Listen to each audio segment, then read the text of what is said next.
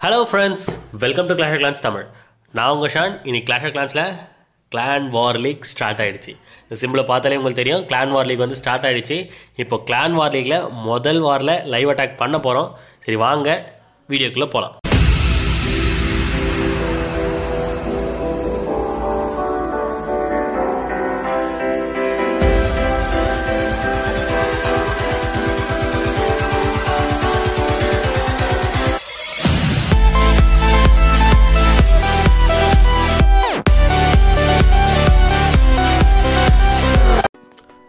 Okay friends இப்போது வார் என்ன நிலமையில் இருக்குது அப்படின்னு பார்த்துடலாம். பார்த்தீங்கன்னா இன்னும் அப்போனன்ஸ் அவ்வளோவா அட்டாக் பண்ணவே ஸ்டார்ட் பண்ணல. நம்ம பார்த்தீங்கன்னா பதினோரு அட்டாக்கில் பதினாலு ஸ்டார் தான் வாங்கியிருக்கோம்.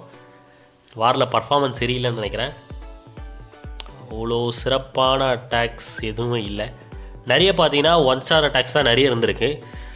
இப்போ பார்த்தீங்கனாலே தெரியும் நம்ம கிளானில் வந்து நிறைய பேர் வந்து ஜாயின் பண்ணோம் அப்படின்ற மாதிரி கேட்டிருப்பீங்க. ஆனால் வந்து நம்மளோட கிளானில் வந்து ஆப்போனண்ட்டாக எப்படி வராங்கன்றதை நீங்கள் பார்த்துருங்க.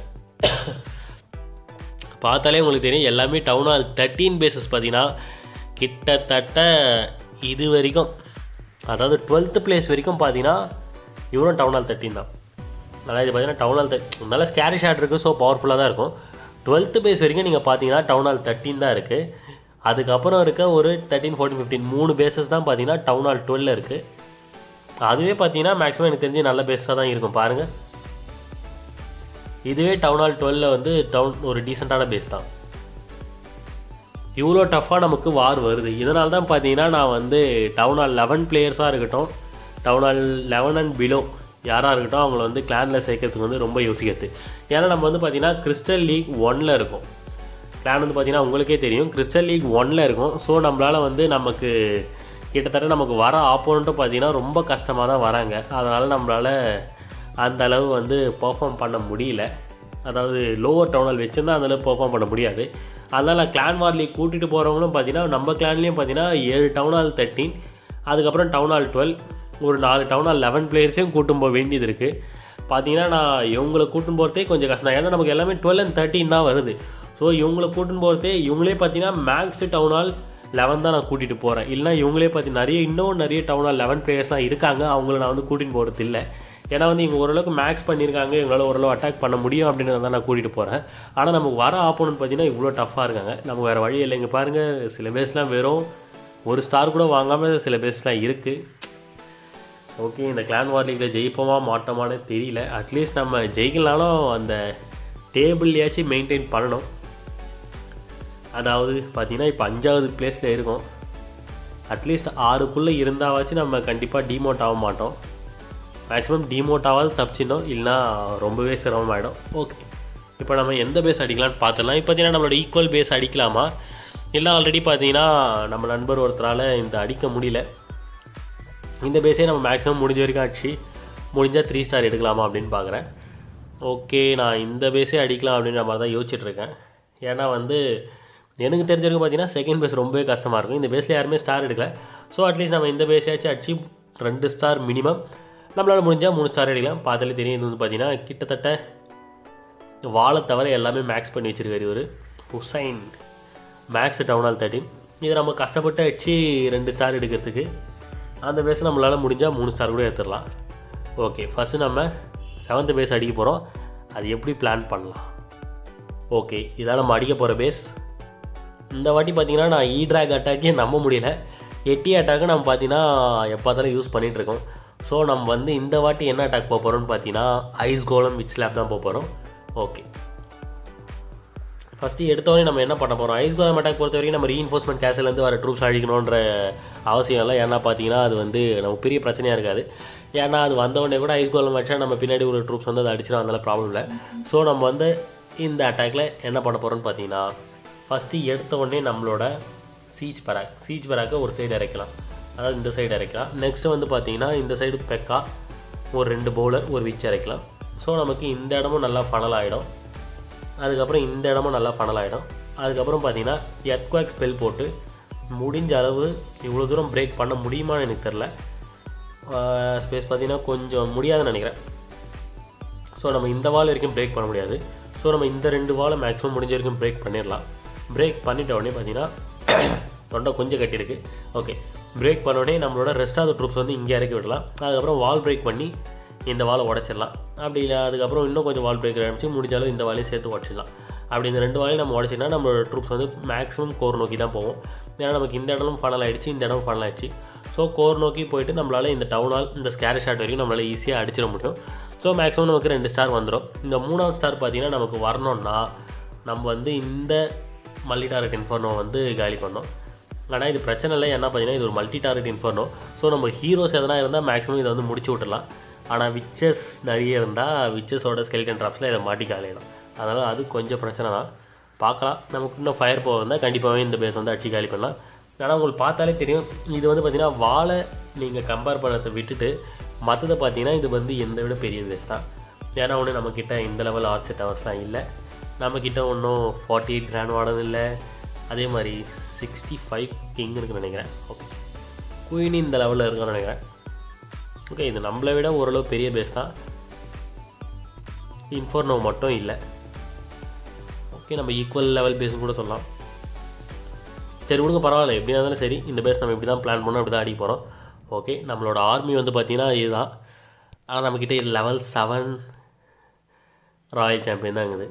ஓகே ஓகே இப்போ நம்ம அட்டாக் போகிறதுக்கு முன்னாடி நம்மளோட ட்ரூப்ஸ் எல்லாத்தையும் பூஸ்டப் பண்ணிக்கலாமா வேணாமா அப்படின்னு யோசிக்கிறேன். ஏன்னா பார்த்தீங்கன்னா பூஸ்டப் பண்ணிட்டா நம்ம வந்து தேர்டு த்ரீ ஸ்டார் எடுக்கிறதுக்கு வந்து இன்னும் நிறைய அட்வான்டேஜ் இருக்கும். இப்போதைக்கு நம்மக்கிட்ட எத்தனை ஸ்பெல்ஸ் இருக்குதுன்னு ஃபஸ்ட்டே பார்த்துலாம் என்கிட்ட பார்த்தீங்கன்னா ரெண்டு பவர் போர்ஷன் இருக்குது ரெண்டு ஹீரோஸ் போர்ஷன் இருக்குது ஸோ என்னால் பார்த்தீங்கன்னா இந்த கிளான் வார் லீகில் வந்து ரெண்டே ரெண்டு வாட்டி தான் அதை யூஸ் பண்ண முடியும். இப்போயே நம்ம யூஸ் பண்ணிக்கலாமா இல்லை லாஸ்ட்டாக யூஸ் பண்ணிக்கலாமான்னு பார்க்குறேன் ஏன்னா பார்த்தீங்கன்னா இந்த வாரம் நான் அடிக்க போகிற பேஸ் வந்து அந்தளவு ஒரு பெரிய பேஸ் இல்லை. ஏன்னா உங்களுக்கு பார்த்தா தெரியும். இது ஒன்றையும் அந்தளவு பெரிய பேஸ் இல்லை. அதனால் மேக்ஸிமம் இதுக்கு அவாய்ட் பண்ணிவிட்டு கூட நம்ம வேறு ஏதாவது பெரிய பேஸ் அடிக்க அதை யூஸ் பண்ணிக்கலாமா அப்படின்ற மாதிரி தான் யோசிக்கிறேன். ஓகே நம்மக்கிட்ட இருக்க என்னென்ன ட்ரூப்ஸ்லாம் மேக்ஸ் இல்லைன்னு பார்த்தீங்கன்னா ஹீரோஸ் போர்ஷன் என்ன யூஸ் பண்ணிக்கலாமா? ஹீரோஸ் வந்து இன்னும் ஃபைவ் லெவல் பூஸ்டப் ஆவாங்க. மற்றபடி பார்த்தீங்கன்னா பெக்கா வால் பிரேக்கர் மேக்ஸ் இல்லை. பவுலர்ஸும் மேக்ஸ் இல்லை. யூஸ் பண்ணலாமா வேணாவா சரி விடுங்க நம்ம வேறு ஏதாவது வார்க்கு யூஸ் பண்ணிக்கலாம் ஏன்னா இது அந்தளவு பெரிய பேஸ் இல்லை. ஏன்னா நம்ம இது பார்த்திங்கன்னா நமக்கு ஈக்குவலான பேஸில் செவன்த்து பேஸ் தான். மற்ற வாரில் இன்னும் டஃப்பான பேஸ் வர சொல்ல நம்ம வந்து அந்த பவர் போர்ஷன் அதுக்கப்புறம் அந்த ஹீரோஸ் போர்ஷன் யூஸ் பண்ணால் ஓரளவுக்கு பெட்டராக இருக்கும். ஸோ நம்ம இப்போது அட்டாக் போயிடலாம். ஓகே நம்ம பிளான் தான் பண்ணிட்டோம். அதுக்கப்புறம் நம்ம மெயினாக கிராண்ட் வார்டன் வந்து கிரவுண்டில் வைக்கணும். இப்படியே அட்டாக் பண்ணிட்டோன்னா அட்டாக் நாசமாக தான் போகும். ஓகே ஃபஸ்ட்டு எடுத்தோடனே நம்ம கிராண்ட் வாட்டர் வந்து கிரவுண்டில் வச்சிடலாம். அதுக்கப்புறம் பார்த்திங்கன்னா நம்ம நல்லா ஜூம் பண்ணிட்டு எர்த்குவாக்ஸ் மேலே போட்டுடலாம். ஓகே சொன்ன மாதிரி எர்த்குவாக் ரெண்டு தான் உடைக்குது. ஏன்னா எர்த்குவாக்கோட ஸ்பேஸ் வந்து அவ்வளோ தூரம் இல்லை. அதனால் அந்த மூணு வாழையும் உடைக்க முடியாது. ஓகே நெக்ஸ்ட் வந்து பார்த்தீங்கன்னா நம்ம சீஜ் பராக் அந்த இடத்துல இறக்கலாம். அதுக்கப்புறம் ஒரு பெக்கா ரெண்டு பவுலர் ஒரு விச்சு இறக்கலாம். ஓகே நம்ம ரெண்டு சைடும் ஓரளவுக்கு ஃபன்னிங் ஸ்டார்ட் பண்ணிட்டோம். பார்த்தீங்கன்னா அந்த சைடு மூணு இது இருக்குது அதாவது மூணு ஹிடன் டெஸ்ட்லாம் இருக்குது நான் இதை எதிர்பார்க்கல. ஓகே ஏன்னா ஹிடன் டெஸ்ட்லாம் வந்து பார்த்திங்கன்னா நமக்கு நல்லாவே தெரியும். அது வந்து இதை அதாவது நம்மளோட பேக்காக ரொம்ப வீக் பண்ணிடணும்னு பார்த்தீங்கன்னா அட்டாக்கில் கிட்டத்தட்ட அப்படி தான் ஆகிடுச்சு அந்த சைடு சரியாக ஃபனல் ஆகலை. சரி விடுங்க பரவாயில்ல. நம்ம அட்டாக் ப்ரொசீட் பண்ணலாம்னு சொல்லிட்டு நான் எல்லா ட்ரூப்ஸும் இறக்கிட ஆரம்பிச்சிட்டேன். ஓகே வால் பிரேக்கர் யூஸ் பண்ணி பார்த்தீங்கன்னா நான் வந்து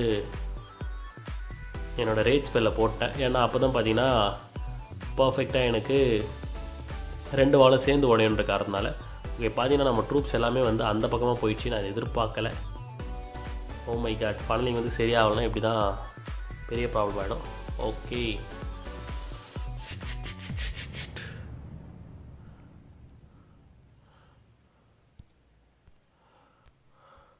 பார்த்தீங்கன்னா நம்ம ஃபனலிங் வந்து பர்ஃபெக்டாக இல்லாத காரணத்தினால இந்த பேஸில் ரெண்டு ஸ்டாரோட வீட்டுக்கு போக வேண்டியது இருக்கும். வர வர வாரில் பர்ஃபார்மன்ஸே சரியில்லை.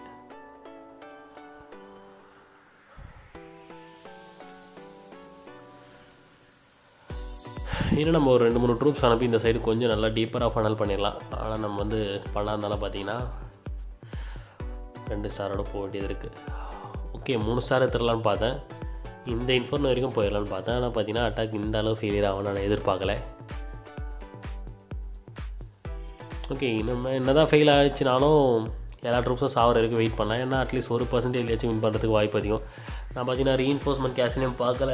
அந்த சூப்பர் மினியனையும் நான் காலி பண்ணல. ஓகே எல்லாமே ஃபெயில் ஆகி அட்டாக் நாசமாக தான் போச்சு. ரெண்டு ஸ்டார் தான் எடுத்திருக்கோம். எந்த இடத்துல தப்பு பண்ணியிருக்கோம்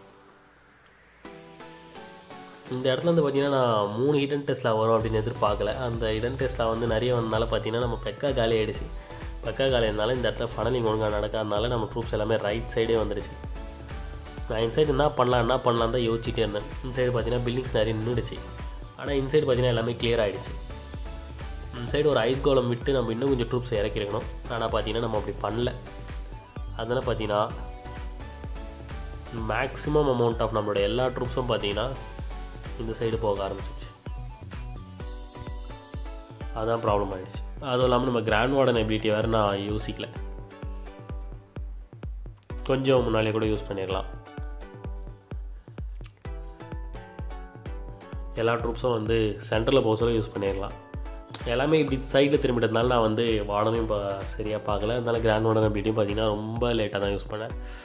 ஓகே ஒரு சொதப்பலான அட்டாக் தான். வேறு யாரும் வந்து அட்டாக் பண்ணிட்டுருக்காங்க நம்பர் ஃபோர் பேஸ் வந்து பார்த்தீங்கன்னா சஞ்சய் ஸ்மார்ட் அட்டாக் பண்ணிகிட்ருக்காரு அவரும் பார்த்தீங்கன்னா நம்பர் ஃபோரில் தான் இருக்கார். மேக்ஸிமம் ரெண்டு ஸ்டார் அடிச்சிருவார்னு நினைக்கிறேன். ஏன்னா வந்து பர்ஃபெக்டாகவே பேட் பிளிப் யூஸ் பண்ணியிருக்காரு ரெண்டு ஸ்டாராக மூணு ஸ்டார் கூட அடிப்பண்டா அப்படின்ற மாதிரி வெறித்தனமான அட்டாக் பண்ணிகிட்ருக்காரு பார்ப்போம் அட்டாக் எந்த லெவல் போகுதுன்னு சொல்லிட்டு. ஆனால் வந்து சஞ்சய் கிட்ட வந்து மேக்ஸ் லெவல் எக்ஸ்போ இருக்கிறதுனால